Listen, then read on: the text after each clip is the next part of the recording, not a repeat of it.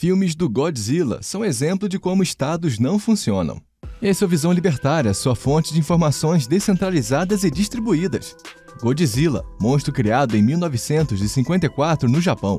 O filme original é um filmaço de terror e drama. O monstro é uma metáfora da guerra e seu sopro atômico é uma metáfora para a bomba atômica, simples e assustador. E o excelente filme de guerra Godzilla Minus One, que estreou nos cinemas em 2023, mostra com seu discurso anarcocapitalista que poucas vezes o governo realmente conseguiu lidar com o problema.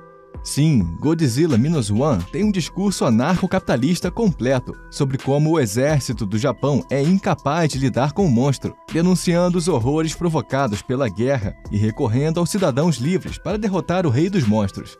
O imperador Hirohito foi a figura divina máxima do Japão do século XX, onde não existia uma dicotomia entre direita e esquerda, e questionar o imperador era um pecado.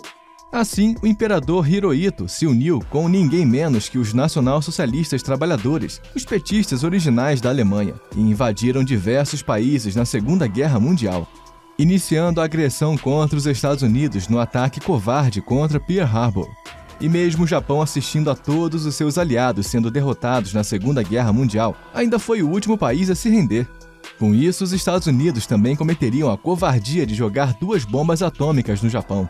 Nove anos depois, o filme Godzilla foi para os cinemas do Japão, questionando absolutamente tudo que o país viveu até então.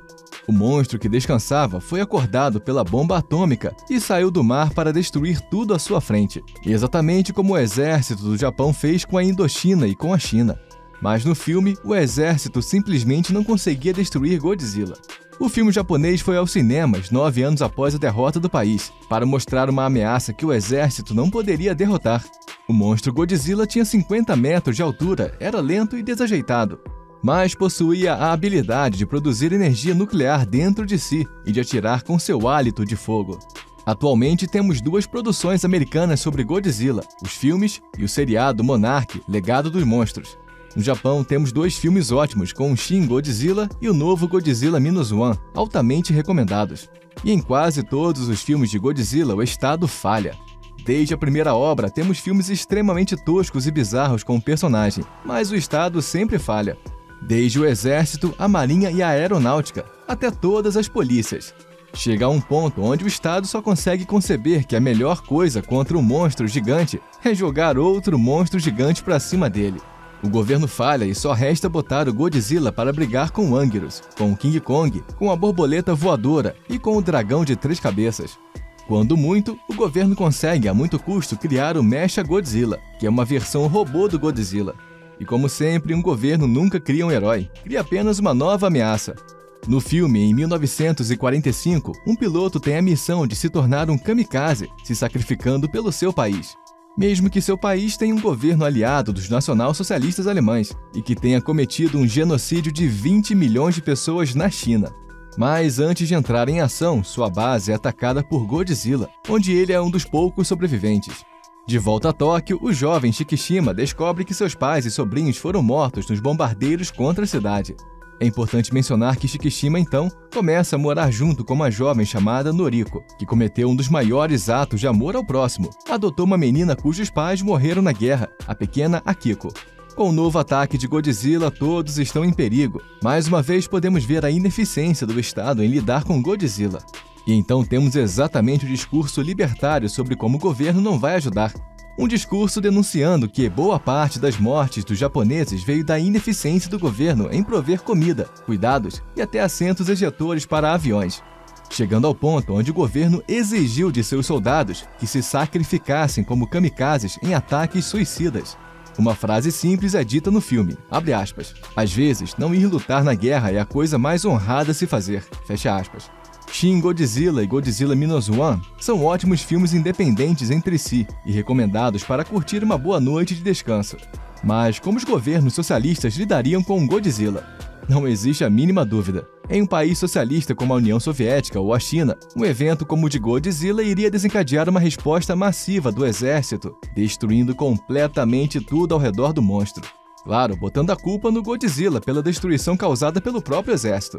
E toda a destruição ocorrida antes de Godzilla aparecer também seria culpa dele. Inclusive, o Godzilla seria culpado pela devastação da natureza, o lixo, a fome e a corrupção burguesa. Um evento como o de Godzilla em um país socialista teria as matérias de jornais sobre o evento censuradas em caso de derrota do exército. Mas em caso de vitória, Godzilla seria retratado como tendo 2 km de altura e sendo derrotado com um simples peteleco pelo líder supremo socialista. Um evento como o de Godzilla em um país socialista poderia servir para colocar a culpa no capitalismo, sem falar que todo socialista também colocaria toda a culpa dos judeus pelo aparecimento do Godzilla. Um monstro gigante em um país socialista seria, sim, pretexto para o Estado jogar uma bomba atômica. Em um país socialista, um evento de monstro gigante como Godzilla seria suficiente para os ecochatos socialistas ficarem calados, enquanto o Estado queima milhões de litros de gasolina para incendiar cidades inteiras. E quem reclamar que o bicho é o único de sua espécie vai pro Gulag. Se Godzilla invadir o mar de Cuba, vão afirmar que é culpa dos embargos americanos e colocar toda a culpa em Godzilla pela destruição das cidades, antes mesmo dele chegar perto delas. Se Godzilla invadir a Coreia do Norte, é perigoso o governo deixar o bicho solto destruindo tudo, para ter um álibi para o próprio fracasso. Só será ameaça se ele destruir algo do nhonho. Mas se ele invadir a Coreia do Sul, a Coreia do Norte vai comemorar e declarar o monstro como herói nacional. Se Godzilla invadir o Brasil de Lula, com certeza vai ser culpa do Bolsonaro, que receberá 24 horas para explicar ao STF o motivo da invasão. A rede Goebbels de televisão mudará de opinião a toda hora sobre Godzilla, dependendo de quem ele pisar pelo caminho. O Lula vai dizer: ainda bem que a natureza criou Godzilla para mostrar para as pessoas como o Estado é importante, e vai convidar o monstro para um evento onde não vai ninguém, nem mesmo o monstro.